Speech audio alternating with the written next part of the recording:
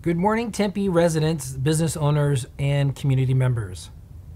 While I have some important new information to share with everyone, I want to take this opportunity to briefly address our community. First and foremost, thank you. Thank you for continuing to obey Governor Ducey's stay at home executive order, the CDC guidelines, and Tempe's specific emergency proclamations. Please know that every day you stay home and physically distance yourself from others, you are helping to stem the spread of the coronavirus and help protect our frontline essential workers, including our public safety officers. And we must continue to be relentless in our efforts as Arizona hospitals are projected to see the highest peak of cases at the end of April.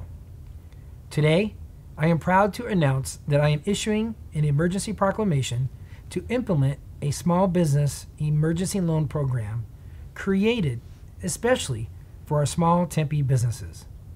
While we are hoping that Congress will invest more funding into the Small Business Administration loans on the federal level, we know there are many businesses out there that still need assistance and they need it now. Being the caring and compassionate community that we are, we wanted to initiate a program that would help get small businesses the help they need. Now, more than ever, time is money.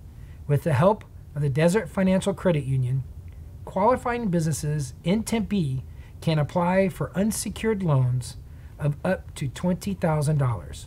These funds can be used to cover operational expenses such as payrolls, utilities, rent, lease payments, taxes, or other business related items. I want to thank our community partners to help make this possible the Downtown Tempe Authority, the Tempe Tourism Office, the Tempe Chamber of Commerce, and Local First Arizona. Thank you all for your commitment to our economy, our small business owners, and our community. For information on the loan program, please check out the For Business section of our coronavirus webpage at tempe.gov slash coronavirus. Thank you.